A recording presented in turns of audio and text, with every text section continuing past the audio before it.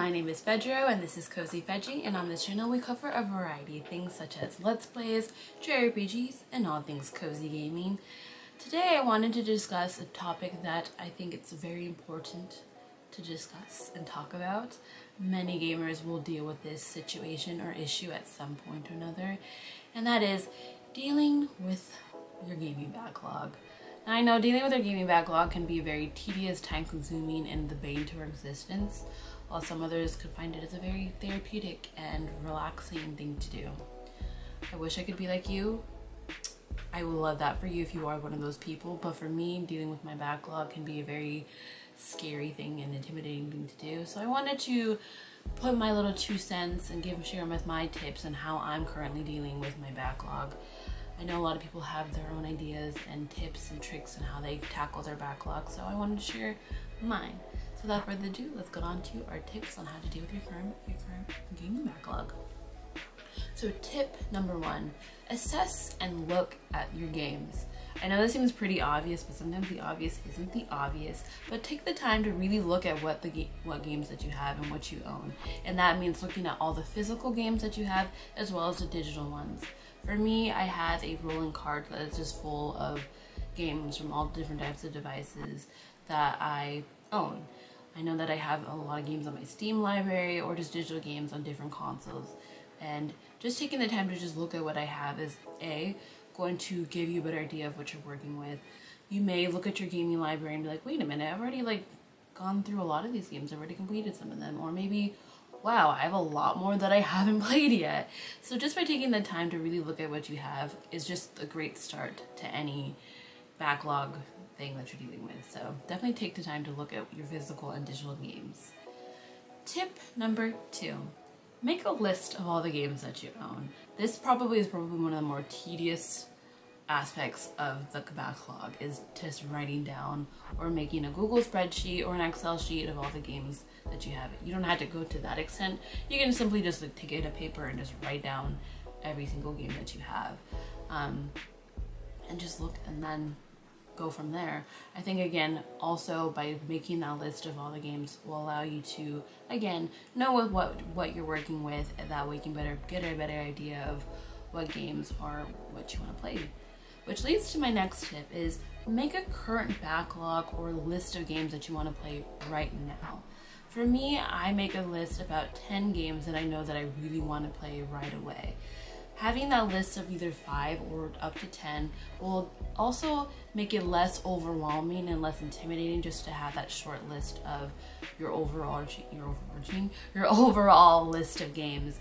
By having that 10, it just shortlists all the, um, your backlog and that way you can streamline and really focus on those current five to 10 games that you have. And once you cross them off, you just keep going and crossing. And then before you know it, you've already completed that five list of five or list of 10 games that you had on your list and then you can make a new one. By doing that, you just make it like a little easier for yourself and you're taking away chunks at a time. And then before you know it, you've already tackled like a, like a quarter or half, or maybe you've already finished your backlog and there you go. So I think that's definitely really important to do that as well. Um, tip number uh, four. I can count. Tip number four, rotate your genres. I think this is such such an easy tip to incorporate into your in dealing with your gaming backlog is to rotate your genres. Have a variety. As someone who loves JRPGs and sometimes can get caught in the habit of playing JRPG after JRPG after JRPG, it can honestly lead to burnout. It can lead to gaming slumps, and those are never fun. Going through periods of time of not playing games, which is one of my favorite hobbies to do. And of course, I set myself up that way. So by mixing up the genres, it keeps things fresh and keeps things rejuvenated and exciting, you know? If we play, like, let's say a JRPG to a visual novel to a farming sim to a platformer, rotating through those, through, through those genres allows you to keep things fresh. I think it's really important. Which goes on to our next tip, which is to rotate your consoles. Similar to the last tip, by rotating your consoles, you can keep things fresh and rejuvenated and give you new experiences by playing different consoles. Like many people, including myself, I have a variety of consoles from my PS5 to my Switch to my gaming handhelds. By rotating them, I'm also experiencing different titles that you can play on other um, other consoles as well as different gaming mechanics and combats and features that only that console or handheld can offer that others couldn't. So again, it's a great way to keep things fresh. So next tip is to set aside time to play games. Now out of all the um, tips on this this um, list, I think this one's probably the hardest because I know we all have very busy, hectic lives that we're living. But by setting aside time to play video games allows us again to tackle our backlog. Like I mentioned before, I know it's difficult to set aside time whether you are a full-time student or a full-time job or other obligations in your life. Whether you set aside 30 minutes or half an hour 30 minutes an hour, half an hour, those are the same things. if you set aside 30 minutes or an hour to two hours, maybe if you're going crazy and set aside five hours, I don't know. Just set aside that time, whether you um, or put down the kids to sleep and now you have that time before you go to bed, or maybe on the weekends you're free and have all the time in the world to play to your heart's content. Do that. I feel like allowing yourself, I'm sitting or dedicating this time to play video games may seem like a chore to some, but it's also just, again, it's your hobby. It's something that you enjoy. By setting aside that time, you're allowing yourself to unwind, immerse yourself in this fun new game or world, and at the end of the day, you will be happy. So by setting aside that time, it's also a gift for you as well.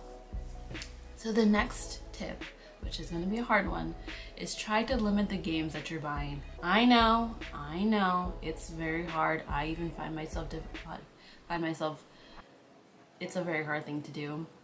I always say playing video games and buying video games are completely two different hobbies. They're completely different things. Both give you different types of dopamine hits and whatnot. Um, but I think it's really important to limit what you're buying. Because again, by buying more games, you're just making your backlog even longer um, and bigger. But um, I know there's a few exceptions to that by like, you know, with recent news, we've had the 3DS eShop is closing soon as well as the Wii U e um, eShop. So people are trying to buy games before you can buy them on digital storefronts and then the physical versions of those are going to skyrocket like crazy. Or of course, I know that there's plenty of new releases coming out as well as the plenty and many sales that do come out throughout the year. It's very tempting to buy new games. Like I literally just bought a chunk of games from the 3DS eShop as well as just games that are on sale. So this is definitely a tip that I need to learn as well. So you're not the only ones, guys, but it's just important that way because when you limit your um your buying your expenditures on games, it also like allows you to just be more, I guess, what's the word I'm looking for? Um, I guess proactive. Is it proactive? I don't know. That's not the word, but it allows you to be more um just strategic with what you're playing. I think that's the word I'm looking for. I hope it is. Um, but um, I think that when you, you are trying to or if you're wanting to buy more games, I think this is a perfect question to have in mind is, are you gonna play this game right away? If you're gonna play this game in the next couple months, if you're not, if you're saying no to both of those questions, maybe you shouldn't buy the game right now.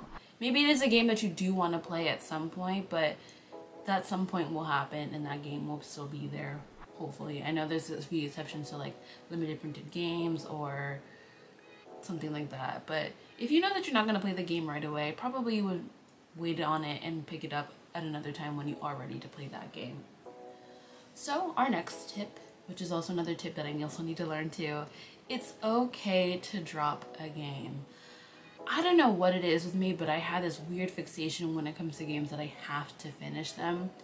Even if I'm having a miserable time, I just want to finish it because like, oh, I spent my money on it. Like, but I'm also spending my time on a game that I don't like.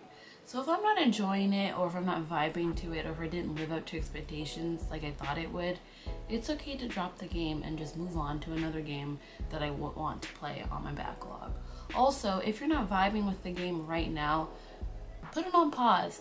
Set aside, set it aside, and give some distance between it. Let it marinate. Maybe you're not like feeling it right now, but maybe in a couple of months later down the line, you're like, mm, am I in the mood to pick it up? And then pick it up again. Maybe you enjoy it again. A great example for me is when I picked up Xenoblade Chronicles Definitive Edition.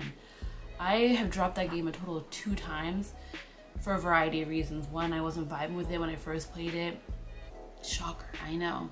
And second of all, other games that I wanted to play came up, so I focused on those games. It wasn't until the third time that I picked it up where I'm like, okay, I'm gonna give this game a third, like another shot. And I'm so glad I did because it's now one of my favorite games on the Switch, one of my favorite games of all time, and honestly one of my favorite series of all time. So again, it's okay to drop a game. Either you were just weren't enjoying it and it's okay to like let it go. Or for instance, it's like with Xenoblade Chronicles Definitive Edition. I may pick it up again and I actually really, really enjoy it. So that's definitely something to look out for. The next tip is try to limit one game at a time. Also a very difficult one to do, as some, especially as someone who is a mood gamer. I used to like play one game at a time, but then I realized my backlog is just really long. Majority of the games on my backlog are JRPGs and it's gonna take me a while to get through them. So I ended up playing multiple games at the same time. And that kind of led to a few issues. One, I ended up focusing way too much time on one specific game than the other and then which would lead to me forgetting the game controls or mechanics of the um, the game the other game or I forgot completely where I left off so then I had to start all over again. So by limiting your game to just playing to one game at a time it allows you to really focus and hone in on what's and immerse yourself into that one game in one world. If you do want to play multiple games, I highly recommend switching up the genres that you're playing at the same time because I've had moments where I kind of mixed up controls kind of mixed up controls from other games as well as again I kind of forget what's happening in other games so. Teach their own this is definitely one that's like teach their own because some people can play multiple up to like three to five games at a time and still make it work. That's just not for me and I'm very envious of those who can do that and our last tip of this video is just to have fun. I understand that, again, the backlog or a gaming backlog can be very tedious and time consuming and a very intimidating thing.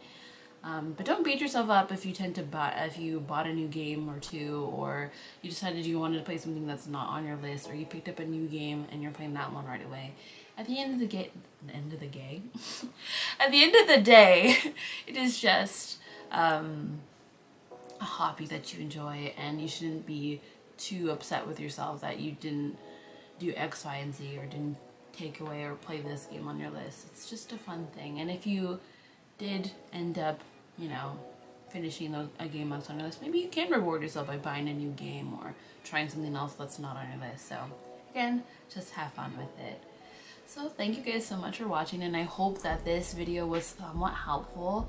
I know that I will be definitely taking these um, these tips into um, to heart because I definitely need to niche this um, issue in the bud before it becomes even more crazy and hectic. But um, yeah, again, if you guys enjoyed this video, do not forget to like and share and also comment down below what is a tip that you do to help deal with your backlog. So again, thank you guys so much for watching and have a good one. Bye!